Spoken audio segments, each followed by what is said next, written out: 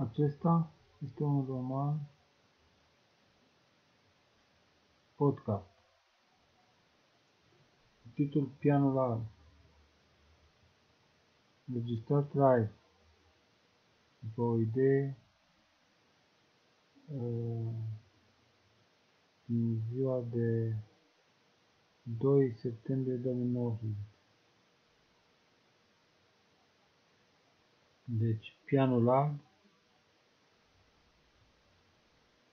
Uh, capitolul 1. Mă gândesc la un moto mai târziu, dar am spus, nu, fac la sfârșitul cărții.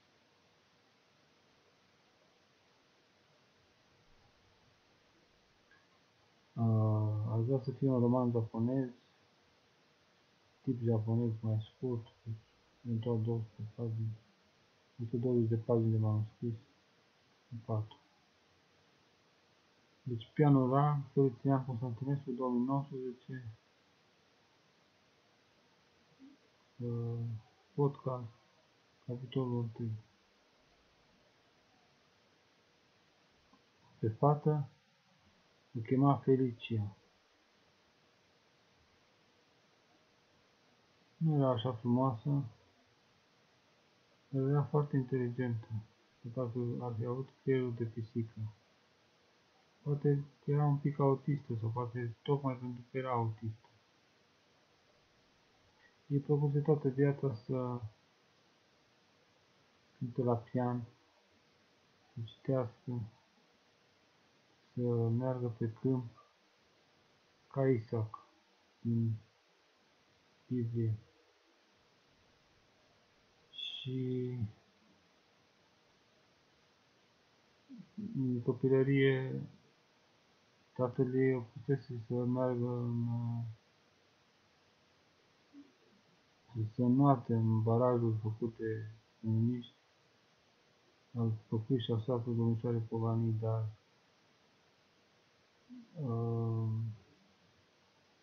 era frică de apă adâncă și nu lăsat niciodată să înnoate, ba chiar o colegă care făcea culturism salvase viața la Deva într-o barcă de mort.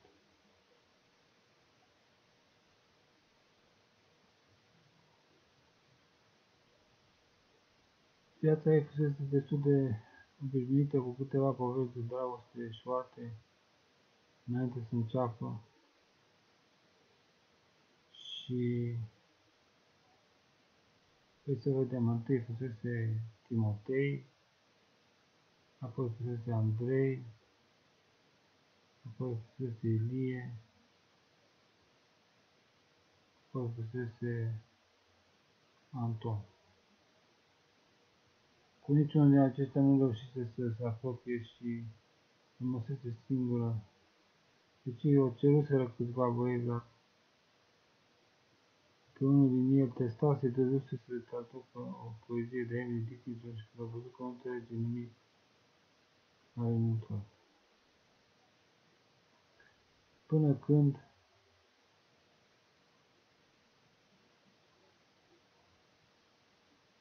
îl întâlni pe Ioan.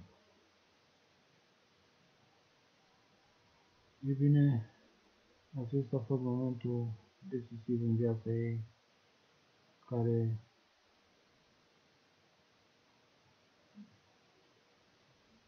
o cuceri întru totul. Despre Ioan se spunea că este rudă cu însuși Pogani și cu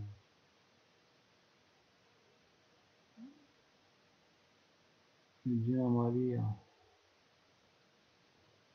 și a României și era un, un fascinant, un arhitect.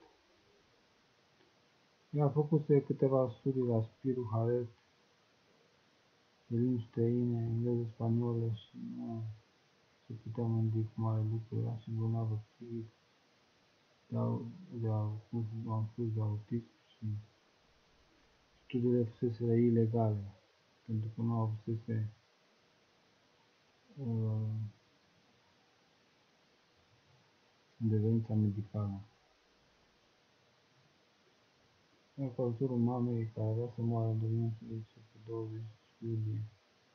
Vreau da, să reușesc asta, să termin studiile.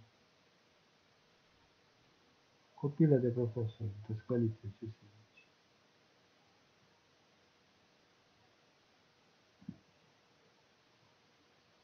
E bine, când m-a întâlnit pe Ioana, știu că s-a întâlnit iubirea vieții.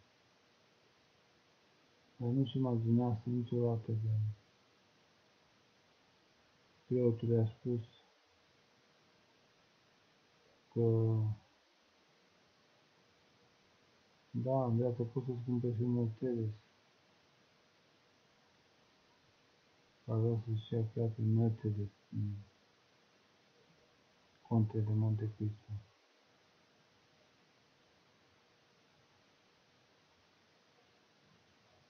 Nu este bine să nu dăm detalii prea multe, pentru că pot răni alte persoane care sunt poate mai ușor legate. Cert este să se spunem că părinții se împotriveau.